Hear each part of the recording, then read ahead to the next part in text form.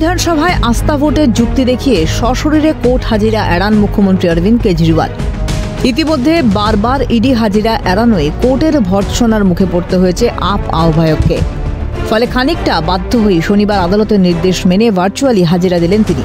মূলত দিল্লি বিধানসভায় সতেরোই ফেব্রুয়ারি আস্থা ভোট থাকায় কেজরিওয়াল সশরীরে হাজিরা দিতে পারেননি। বিচারক দিব্যা মালহোত্রাকে জানান, খোদ দিল্লির মুখ্যমন্ত্রী।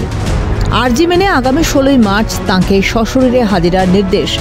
রজ অ্যাভিনিউ আদালতের উল্লেখ্য, আদালতের নির্দেশকে হাতিয়ার করে ফের একবার ইডির সমন এড়াতে পারেন অরবিন্দ কেজরিওয়াল। আবগারি দুর্নীতি মামলায় ইতিমধ্যেই ষষ্ঠবার আপ আহ্বায়ককে তলব ইডির উনিশে ফেব্রুয়ারি তাঁকে হাজির হতে বলা হয়েছে। রস অ্যাভিনিউ কোর্টের সাম্প্রতিক নির্দেশকে সম্ভবত ঢাল করে ফের একবার ইডি তলব এড়াবেন কি কেজরিওয়াল? এই প্রশ্ন ওয়াকিবহাল মহলে।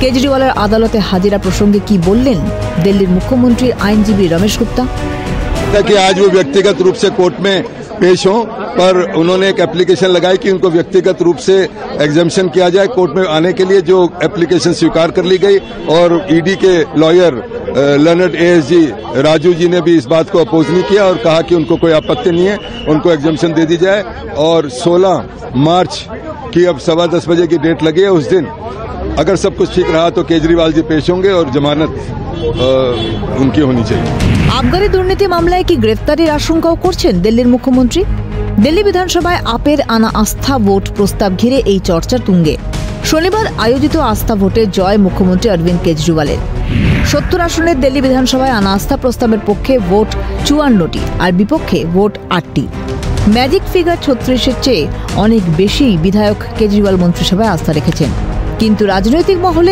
জোর চর্চা, আস্থা ভোটের পক্ষে পড়া ভোটের পরিসংখ্যান নিয়ে। দু হাজার কুড়ির বিধানসভা ভোটের আপ পেয়েছিল বাষট্টিটি আসন, আর বিজেপির পক্ষে গিয়েছিল আটটি আসন। কিন্তু চার বছর পর কেজরিওয়ালের পিছনে চুয়ান্ন বিধায়কের সমর্থন। গত চার বছরের দুর্নীতির দায়ে আপের দুই বিধায়ক, মনীষ সিসোদিয়া এবং সত্যেন্দ্র জৈন জেলবন্দি। এই দুই বিধায়ককে ছাড়লে ষাট আপ বিধায়কের সমর্থন কেজরিওয়ালের পক্ষে থাকার কথা। চুয়ান্ন জন বিধায়ক আস্থা ভোটের পক্ষে ধনী ভোটে সায় দিলে বাকি ছয় বিধায়কের অবস্থান কি? উঠছে এই প্রশ্ন।